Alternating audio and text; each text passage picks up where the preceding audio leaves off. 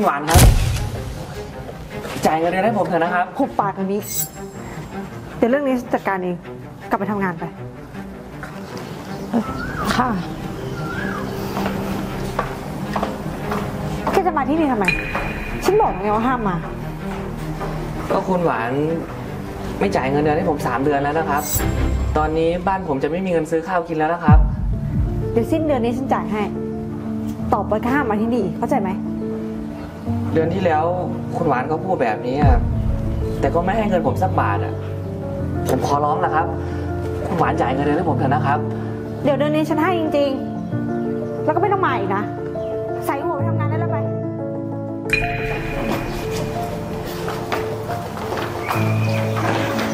คนงานมาทำอะไรที่นี่คะท่านประธานคะผมมาเอาไม่มีอะไรหรอกค่ะคุณอัน อย่าไปสนใจเลยค่ะ ฉันถามคนงานค่ะ ไม่ได้ถามคุณ คุณมาทำอะไรที่บริษัทคะ ผมมาหาคุณหวานครับ คุณหวานเขาไม่จ่ายเงินเดือนผมมาสามเดือนแล้วครับ คุณอันอย่าไปเชื่อนะคะ คนงานคนนี้มันโกหกค่ะ ความจริงแล้วมันมาขอเงินเพิ่มค่ะ ไม่จริงนะครับท่านประธาน คุณหวานเขาไม่ได้จ่ายเงินให้ผมจริง ๆ ครับ แถมยังมีคนงานคนอื่นๆนะครับ ที่ยังได้เงินเดือนไม่ครบ ตอนนี้พวกผมลำบากมากเลยนะครับ เงินซื้อข้าวก็แทบจะไม่มีบางวัน ก็ต้องไปขอข้าวเพื่อนบ้านกินเพื่อประทังชีวิตนะครับ หุบปากไปเลยนะอยากโดนไล่ออกเลยไง นี่คุณกล้าข่มขู่คนงานต่อหน้าฉันเลยเหรอคะ คุณไม่ต้องกลัวนะคะ พูดมาเถอะค่ะ ผมกับเพื่อนๆเคยมาที่นี่หลายครั้งแล้วครับ แต่คุณหวานเขาก็ไม่ให้เงินเลยสักบาท แถมยังสั่งห้ามไม่ให้มาที่นี่อีกครับ ท่านประธานช่วยผมหน่อยนะครับ ให้คุณหวานเขาจ่ายเงินเดือนให้ผมกับเพื่อนๆเถอะนะครับ เรื่องนี้ฉันจัดการให้เองค่ะ คุณหวานคะฉันเซ็นอนุมัติเงินเดือนให้คนงานทุกเดือน แล้วทำไม คนงานถึงบอกว่าคุณไม่จ่ายเงินพวกเขาล่ะคะ เงินเดือนคนงานหายไปไหนคะ คือว่าเรื่องเงินคนงาน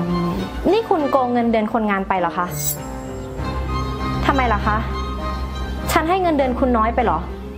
หรือว่าสวัสดิการของบริษัทเรามันไม่ดี ไม่ใช่ค่ะ คุณรู้อะไรไหมคะ พวกเขาต้องทำงานหนัก แล้วก็ต้องแลกเงินมาด้วยหยาดเหงื่อแรงกาย กว่าจะได้เงินแต่ละบาท ไปเลี้ยงปากเลี้ยงท้องของตัวเอง แต่คุณกลับเอาเงินของพวกเขาไป คุณไม่ละอายใจบ้างเลยเหรอคะฉันขอโทษค่ะ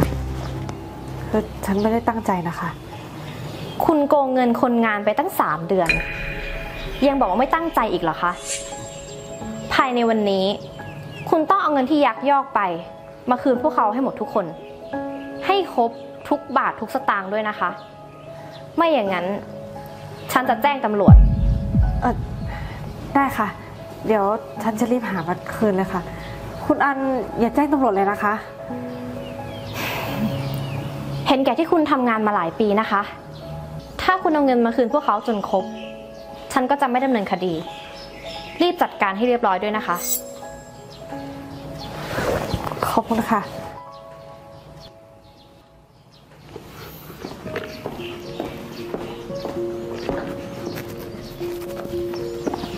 ท่านประธานครับ